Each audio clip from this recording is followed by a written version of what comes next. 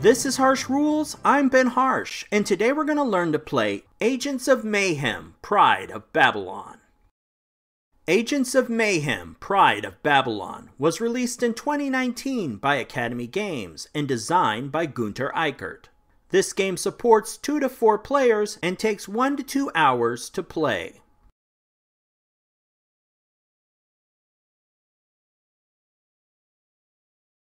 As we discussed in the last episode, Agents of Mayhem uses a square based mapping system. Miniatures can move in any direction, vertical or horizontal across lines, and diagonally across symbols. Line and symbol types dictate the movement point cost, or in some cases, prohibit movement altogether. Now let's go deeper into the movement rules to understand how all this works. Obviously, while playing the game, the moving miniature may encounter other miniatures on the map. When this occurs, there may be additional movement costs and restrictions. Miniatures are classified as either friendly or enemy units. A miniature may move through a space containing another friendly unit. However, it may not end its movement in the friendly miniature's space. Movement around enemy units is much more complicated a moving miniature may never enter or pass through the space of an enemy unit. They must also pay more for movement in the enemy miniature's zone of control. Zone of control is the space an enemy unit occupies and the eight spaces surrounding it. However, an enemy miniature's zone of control does not pass through walls or extend to floor levels above it or below it. Moving between spaces in an enemy's zone of control costs 3 movement points. This cost is not cumulative. Therefore, a miniature entering a space with an obstacle in an enemy unit's zone of control would only cost 3 movement points, not 6. Movement costs are easy to remember because everything costs either 1 movement point or 3 movement points. For a player to move their miniature on the game map, they need to select an action, for our first example, let's look at Hollywood's sprint action. To sprint, first the player pays the action cube cost. The cost is indicated by an open hand symbol and the colored cube symbol above it. Sprint costs one green action cube. Therefore, the player removes one green action cube from their elite player board's well and places it back into the general supply. This leads us to the hash square icon next to the cost. This icon tells the player the number of movement points they can spend. As you may remember, one clear line or clear symbol costs one movement point to cross. Therefore, the miniature can move across nine of these to enter a new space. It's important to note that with each move, the miniature can change its facing. When entering a new space, the flat edge of the miniature's base must be flush to one of the lines in the space. The flexibility to change a miniature's facing with every space they move into allows players to easily navigate them across the map. Next, let's discuss jumping. Jump allows a miniature to propel themselves vertically and then out across the map. Jump is an add-on action, which means it can be combined with Sprint. Therefore, the Sprint action's movement can be interrupted to jump and then continue sprinting again. The layout of the jump panel on the Elite unit board is similar to other action panels, with the exception of new icons in the movement point space. The up arrow indicates the height of the jump in levels. The curved arrow indicates the length of the jump. When a miniature like Hollywood jumps, they rise up one level and are able to move across four spaces on the map. The advantage of jumping is that the arc of the jump allows the miniature to avoid obstacles in their path. However, obstacles can only be ignored on levels the miniature is jumping above. For example, while the Hollywood miniature can ignore the obstacles on the first level, the obstacle on the roof cannot be ignored. Therefore, Hollywood cannot jump across the obstacles on the roof to land in the center. Finally, let's talk about dashing. The dash action allows a miniature to move one space on the map for the cost of one green and one yellow action cube. While this may seem expensive for just one space, the advantage of dash is that it is an instant action. Which means that it can be used anytime during the game. Therefore, if a player finds their miniature in a bad spot on the map, they can conduct an instant action to move to a safer position.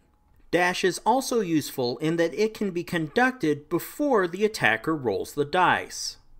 This forces the attacker to recalculate their attack based on the miniature's new position. Dash is also useful if a miniature is pushed off a building into an uncontrolled fall. Dash can then be used to turn an uncontrolled fall into a controlled fall and land safely. As you can see, while Dash is expensive, the uses of Dash make up for this cost.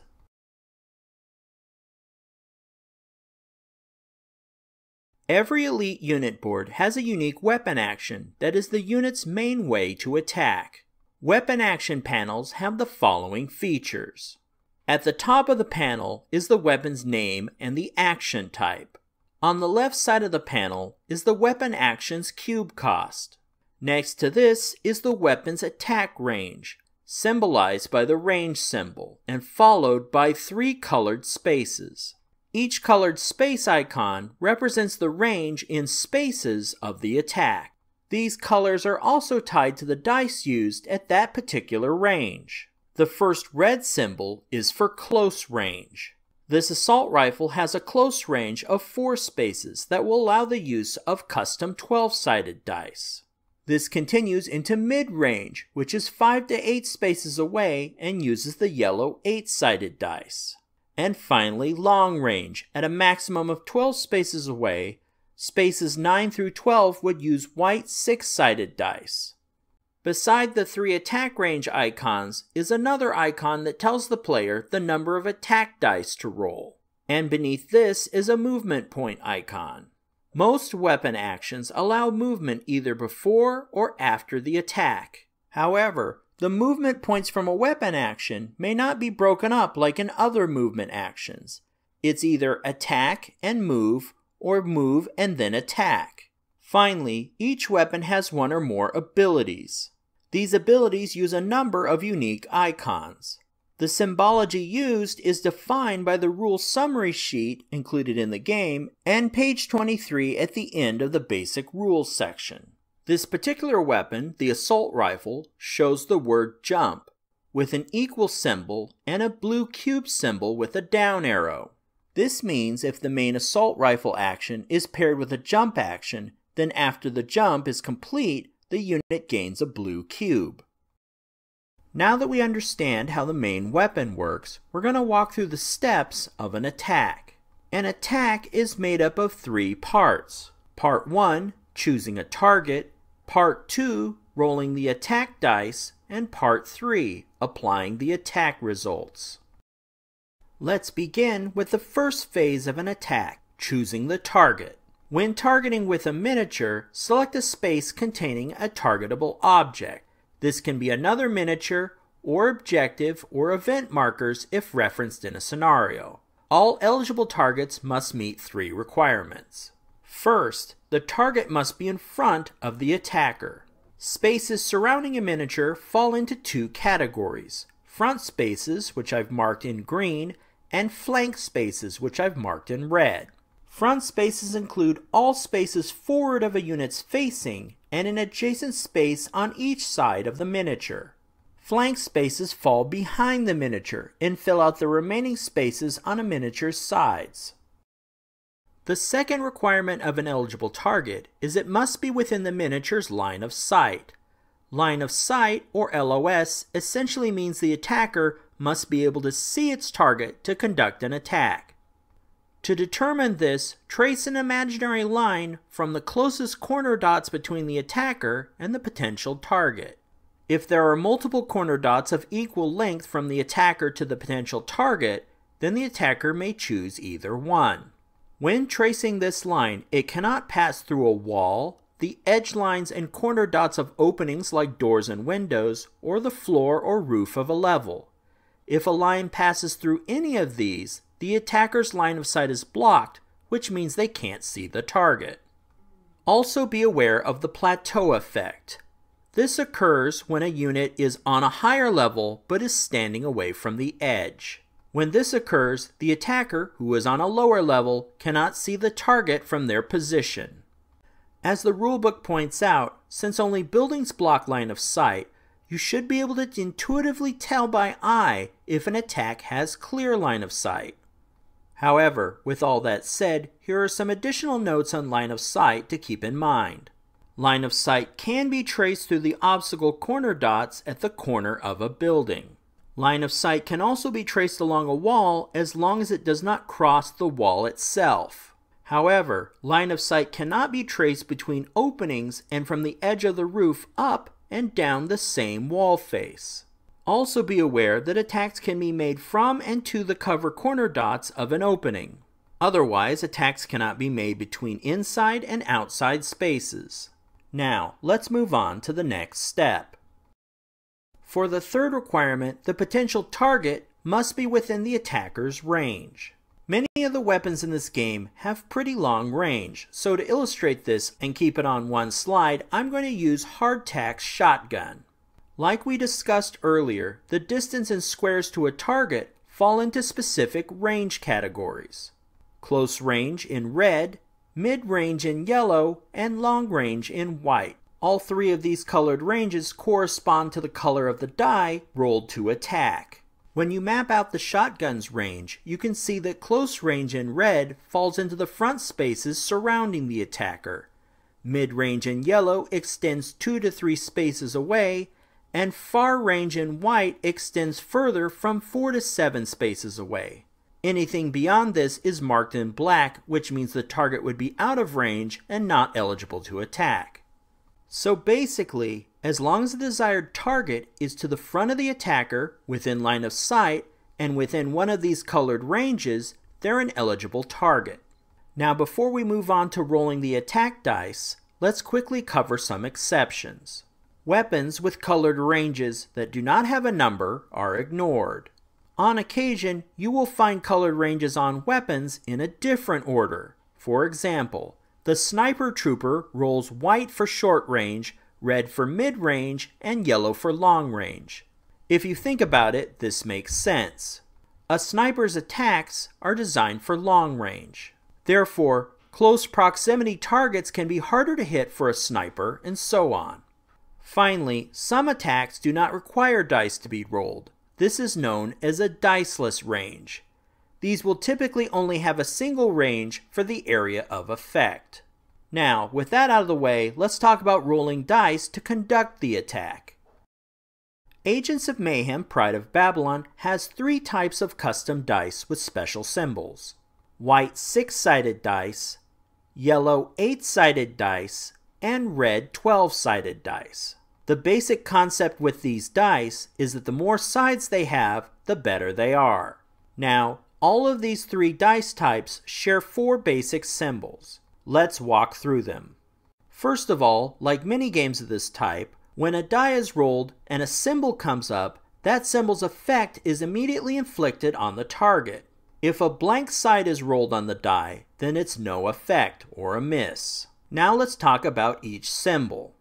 A hit symbol inflicts damage on a unit. The next symbol is an aimed hit. Aimed hits cause damage just like regular hits, but may also provide an aim bonus. For aim hits to receive this bonus, the attacker must pay an extra yellow focus cube to aim. Aimed attacks can grant various bonuses, which are explained in the advanced rules section. A push result forces the target one movement point, essentially one space, away from the attacker. However, a unit cannot be pushed over an obstacle edge line or corner dot unless three push results are used. Also, if push sends a target off a ledge, then they're in an uncontrolled fall. Roll 1d12 for each level that unit falls.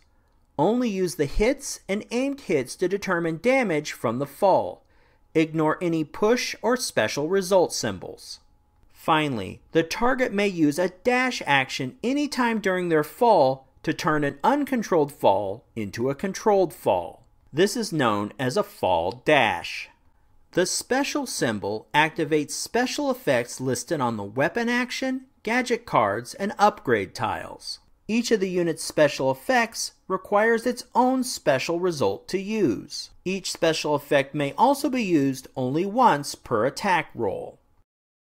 Hit and aimed hit die results impact the cubes on an elite unit board. We covered this in the first episode, but here's a quick reminder.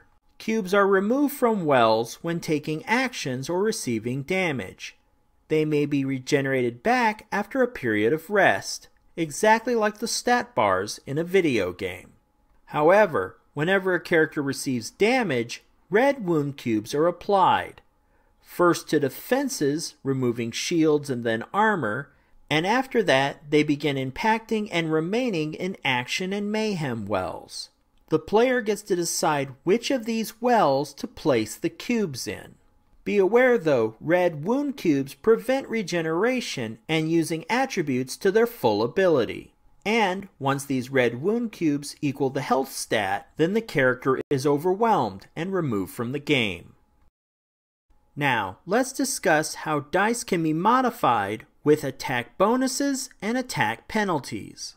An attacker receives two attack bonuses for the following situations. First, the attacker receives a bonus for attacking from a space in the target's flank. This provides two attack bonuses. And second, for attacking from a higher level than the level the target is on. This also provides two attack bonuses. Each attack bonus allows a unit to upgrade one dice in their pool by one level. Therefore, a white d6 would be upgraded to a yellow d8, and a yellow d8 is upgraded to a red d12. And a red d12 upgrade adds an additional d6 to the dice pool. In a similar fashion, certain situations can penalize the attacker.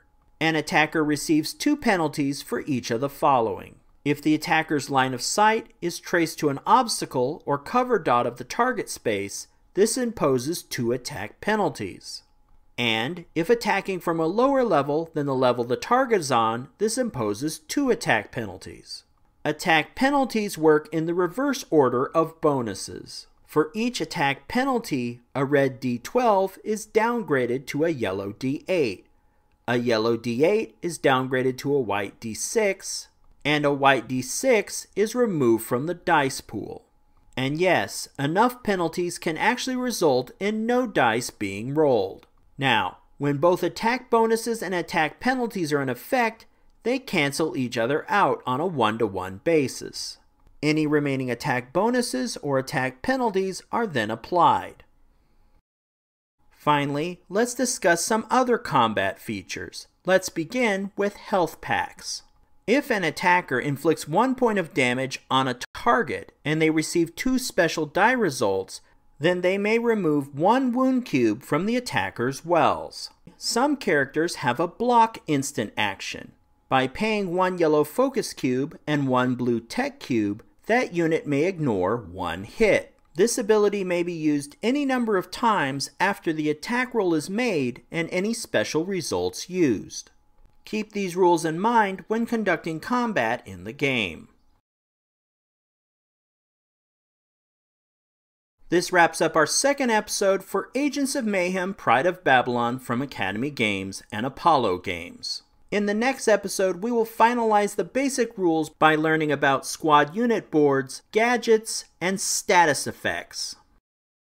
If you found this video helpful, please give me a like and share with your friends. To be the first notified when the next episode of Harsh Rules becomes available, please hit the bell icon for notifications. And as always, this has been Harsh for Harsh Rules. Thank you so much for watching, and I'll see you on the next video.